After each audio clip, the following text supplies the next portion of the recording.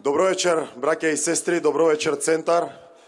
Добро вечер до победничката изборна единица 1 и тимот кој ќе освои најмногу гласови во првата изборна единица. Благодарение на вас, на сите вас.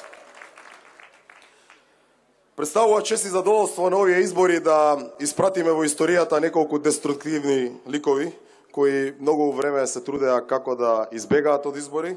Сега соочени со избори наоѓаат многу изговори зошто изгубиле, што чинело, што не чинело, но јас би ги подсетил дека во овој временски период немаше желба која не им ја исполнивме. И конечно треба да се соочат со реалноста, да се соочат со вас. Тука со народот на Република Македонија кој ги зема работите во своји раце на 11 декември.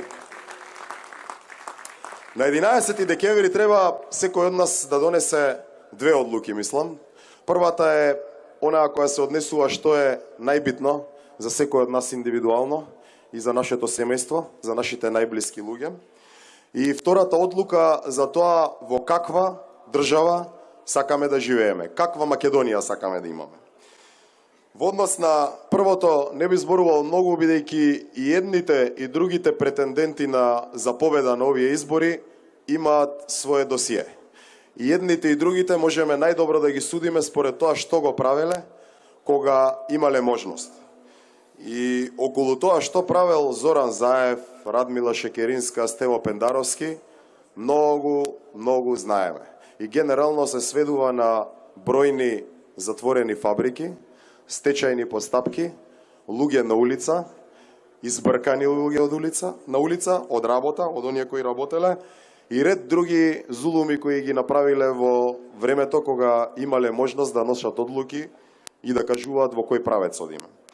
Ние не се занимаваме со нивната агенда, бидејќи имаме наша која е многу сериозна. И во овој дел а, го правиме она што е најбитно за сите граѓани на Македонија, тука во Скопје, најбитното за скопјаните.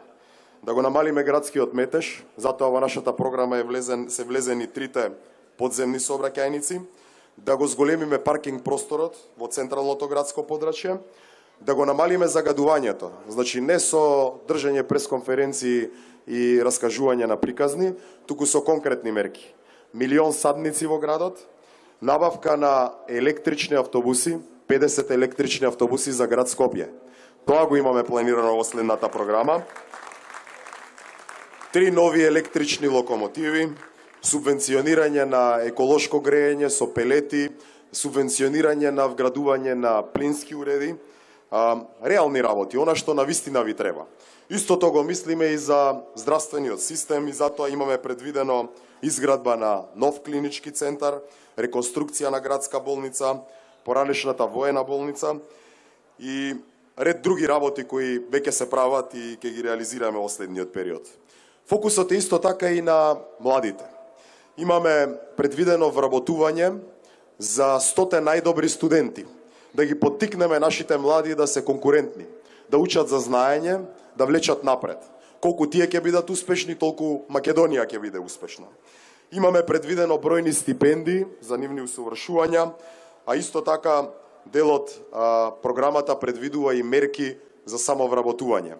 Да им овозможиме да бидат конкурентни, да ја влечат државата напред. Важен е и спортот, затоа во Скопје имаме предвидено повеќе спортски сали, училишни а, сали, кошаркарски игралишта, фитнес зони на, на кејот на реката Вардар. И ред други работи кои ќе го поттикнат спортскиот ангажман на нашата најмлада а, генерација.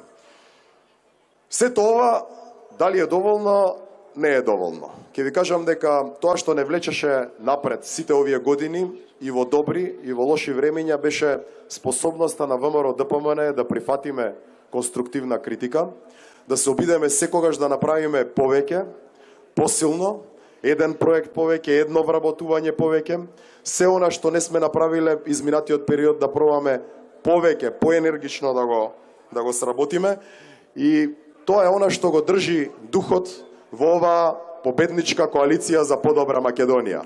Способноста и во тешки моменти да носиме одлуки и да ја влечеме нашата држава напред, кон успех.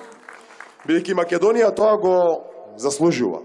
На почетокот реков дека има две причини. За првата ви објаснив и мислам дека секој од вас многу добро знае кога ќе погледнеме во огледало што е најдобро за нас и за нашите семејства, за нашите најдраги. Втората работа која спомнав е и во каква држава сакаме да живееме и кој сакаме да не предводи. Не треба да го заборавиме фактот дека денес сме веројатно една од привилегираните генерации на македонци. Многу генерации македонци биле водени од други, доминирани, трпеле притисок и не можеле сами да носат одлуки за собствената држава. Ние сме генерација која живее веќе 25 години во независна, суверена Република Македонија. Тоа треба да го цениме. Би спомнал дека на светот има повеќе од 5000 народи, а постојат само 190 на држави. Тоа е привилегија. Привилегија е голема да имаш држава, да си свој на свое и да носиш одговорност за тоа во кој правец оди собствената држава. Затоа ние сме луѓе кои си ја сакаат државата и го ценат тоа што го имаме.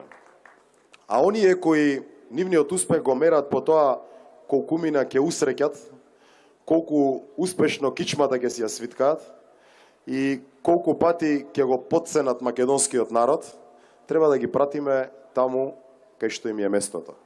Во историјата, за да се сеќаваме со какви луѓе сме се соочувале и што тие предлагале за Република Македонија.